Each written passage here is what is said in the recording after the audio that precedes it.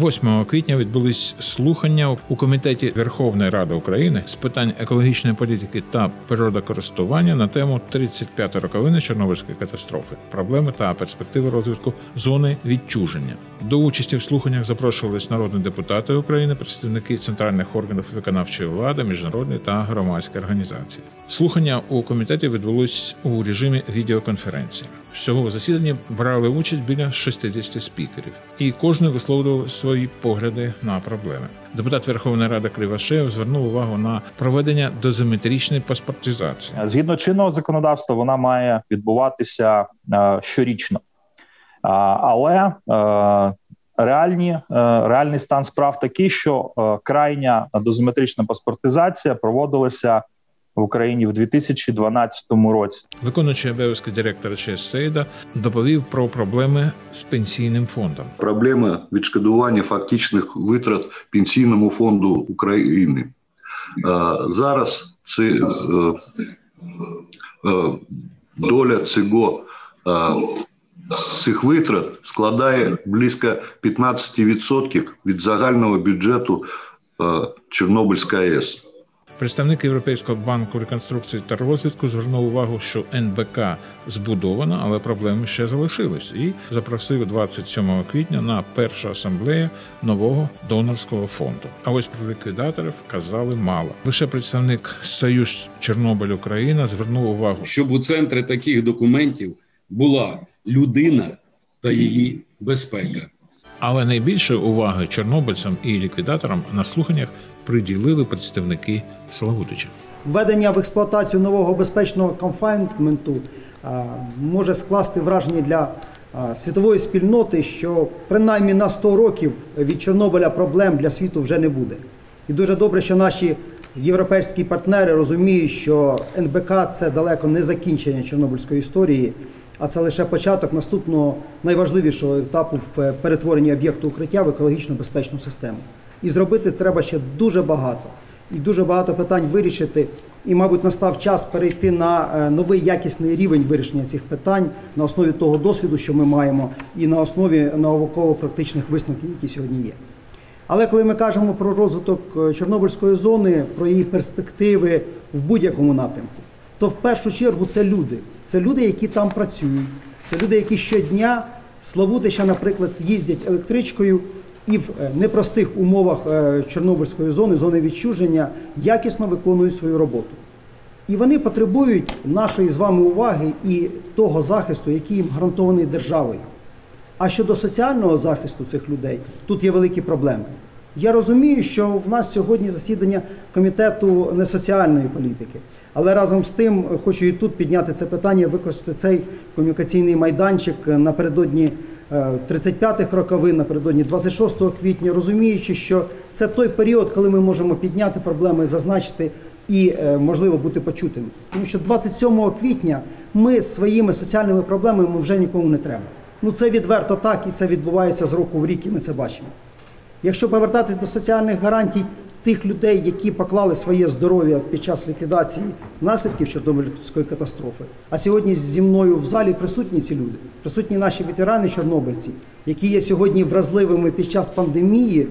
Але вони все-таки виявили бажання і прийшли і кажуть, ні, Юрій Кирилович, ми будемо в залі, ми хочемо бути присутніми на цих слуханнях. Нам важливо розуміти, що відбувається в Чорнобильській зоні і які перспективи її розвитку, тому що вони не байдужі до цього.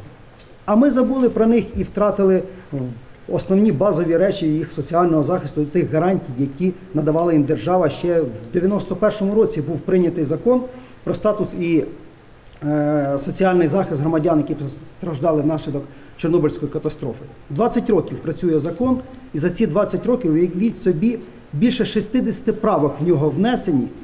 І всі ці правки, практично всі, стосуються звуження соціальних гарантій. Ну, як приклад, 48 стаття гарантує оздоровлення людям з інвалідністю, які отримали інвалідність в результаті Чорнобильської катастрофи, кошти на оздоровлення в розмірі 5 мінімальних заробітних плат. Але зміни в закон дозволили встановлювати цей розмір і порядок е, надання надання такого фінансування Кабінету міністрів України. І сьогодні він складає аж цілих 120 гривень на рік. Давайте, шановні, за 120 гривень оздоровимо наших ліквідаторів і е, побажаємо їм гарного здоров'я, особливо в період пандемії. Це суттєво треба змінити і змінити негайно. До речі, є рішення Конституційного суду, який вже сьогодні згадував. Поверніть е, захист, соціальний захист нашим чорнобильцям, нашим ветеранам. І це дуже важлива е, частина нашої роботи. І я вважаю, що Верховна Рада і депутати повинні взяти на себе цю ініціативу і е, все-таки відновити, відновити ті втрачені по суті права на соціальний захист. А стаття 16 Конституції регламентує, що саме держава, держава вирішує чорнобильські проблеми. Вона є гарантом. Е, Наступний аспект, на якому я хочу сьогодні зупинитись щодо Славутича, а Славутич має на це право. Ну, по-перше, в нас щонайменше е, четверть населення це ті, що постраждали від Чорнобильської трагедії. По-друге, Славутич побудований як місто супутник атомної електростанції, Чорнобильської атомної електростанції для її експлуатації, відновлення роботи після аварії. І е, при достроковій зупинці Чорнобильської АЕС ми отримали суттєве економічне потрясіння.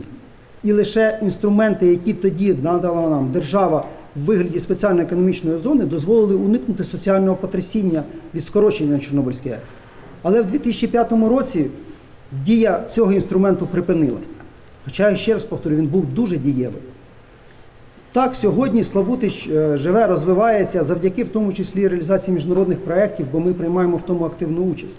Саме славутичани працюють на цих проєктах, але міжнародні проєкти фактично завершені великого масштабу. Ми знову втратили робочі місця і знову постає питання майбутнього міста. Тому прошу е, народних депутатів підтримати нас щодо повернення до цього механізму спеціальної економічної зони і, можливо, не лише Славутича. На різні території треба звернути увагу. Знову ж питання лежить на перетині декількох комітетів і співпраці з Кабінетом міністрів України. Але прошу бути активними і в цьому питанні і допомогти нам також. І третє, що хочу зазначити в своїй доповіді, підтримати Чорнобильську АЕС, це питання е, компенсації пенсійному фонду за тих працівників, які е, отримали право, абсолютно законне право на е, пільгове отримання пенсії, на достроковий вихід на пенсію через роботу в важких умовах. Але сьогодні фінансування цих пенсій покладено на підприємства. Не лише державні підприємства, в державних підприємствах, з державними підприємствами взагалі парадокс. Ті, які фінансуються з державного бюджету. Ми фінансуємо Чорнобильську АЕС, виділяємо кошти державного бюджету, потім вона сплачує в пенсійний фонд, який є фактично дотований з державного бюджету, кошти в принципі назад або транзитом. Ну чому не можна вирішити це питання е, в прямому фінансуванні? І друга частина це комерційні структури, установи, організації, які працюють в Чорнобильській зоні. І в міжнародних проєктах в тому числі. На них також покладений обов'язок сплати цих виплат по достроковим пенсіям. І для деяких організацій ці суми сягають 500, 600, 700 і навіть мільйона гривень в місяць. Ми розуміємо, що для бізнесу простіше збанкрутувати і відкрити нову юридичну особу. І це просто самообман, коли ми розраховуємо отримувати ці кошти від бізнесу, який відпрацював в Чорнобильській зоні, не маючи права, до речі, закласти свій кошторис ці витрати, особливо в частині міжнародної технічної допомоги. Наші партнери нас просто не зрозуміли, європейські, і ті, які збирали кошти на реалізацію того чи іншого проєкту. Тому е, звертаємось до вас підтримати і цей напрямок, і вирішити питання щодо погашення заборгованості перед пенсійним фондом, бо це є також функція держави, і також запрошую народних депутатів до співпраці. Є законопроект 4408, е, минулорічний в кінці року зареєстрований. Е, Підключіться до вирішення е, питання пенсійного в рамках цього законопроекту і будьте нашими партнерами. Е, Я хотів би звернути увагу на дуже важливий аспект е, е, 30-кілометрової е, зони відчуження це централізоване сховище. І хотів би нагадати невеличку історію. Вона 2012 року було, інформую вас, пане Олеже, пані депу, панове депутати. Е, Були проведені безкінечні громадські слухання щодо погодження цього будівництва, тому що настрої були ну страшенні, ніякого будівництва е, до перекриття доріг. Це ну неможливо було б, якщо б люди не пішли б на зустріч вдумливо, усвідомлюючи проблему і ті кошти, які ми страшні кошти, які ми платимо е, Росії за е, зберігання зберігання цих відходів, не маючи жодної перспективи. Тому е, в ході цих слухань і було прийнято рішення так іти на зустріч е, щодо будівництва централізованого сховища.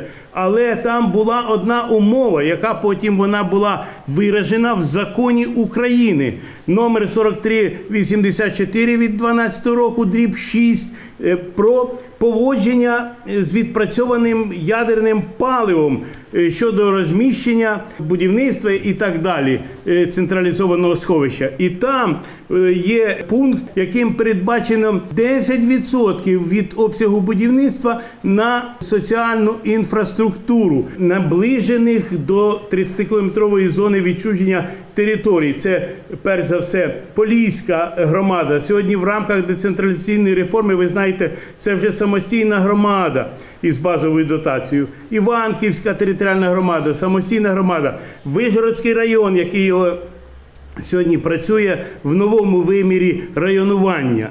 І е, звісно, що і місто Славутич, де проживають е, е, ті, хто головні і, і ви, визначні учасники ліквідації аварії на Чорнобильській АЕС, і які сьогодні і їхні діти працюють по тим проектам, які ми говорили. І на превеликий жаль, цю, е, цей пункт він сьогодні не виконується, незважаючи на те, що обласною адміністрацією Київською все погоджено обласною радою. Але на «Екенергоатом» робить ссылку на те, що становище тяжке з тими мільярдами, які є, і ви знаєте про це, і немає коштів. Я дуже вас прошу, щоб по цим слуханням, як завжди, у нас були е, е, відповідні е, е, е, рекомендації для того, щоб ми, е, ну що от е, образно вам сказати, щоб зрозуміло бути, в залі люди не жабраки, вони не з протягнутою рукою стоять до держави. Вони просто наполягають і просять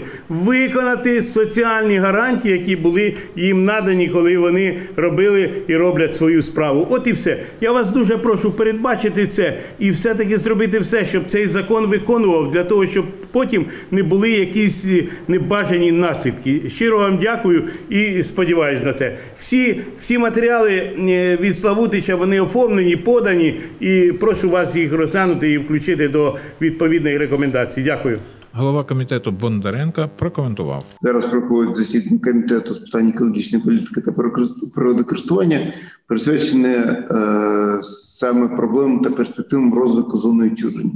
Я хотів би вам е, нагадати або сповістити вас, що завтра, 9 квітня о 14 в режимі відеоконференції відбудеться засідання Комітету Верховної Ради України з питань соціальної політики та захисту прав ветеранів на якому, е, звісно, ці питання, безліч інших питань щодо соціального захисту, е, в тому рахунку соціального захисту постраждалих внаслідок аварії, ліквідаторів аварії, е, можуть бути підняті. І я сподіваюся, вони будуть розглянуті більш е, уважно, е, тому що це буде саме за тем, тематикою е, тих комітетських слухань, що відбудуться завтра на базі іншого комітету. Але всі ваші зауваження, всі ваші пропозиції вони доречні. Ми будемо також приділяти увагу цим цим зауваженням та пропозиціям нашої діяльності. Відеоконференція продовжилась біля двох годин.